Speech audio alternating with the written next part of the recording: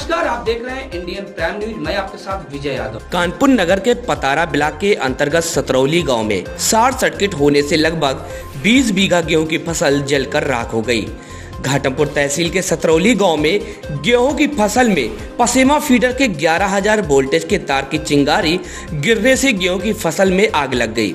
जिससे खेत में तेज़ी से आग ने अपना विकराल रूप धारण कर लिया और धीरे धीरे आसपास के खेतों को भी जलाकर राख कर दिया।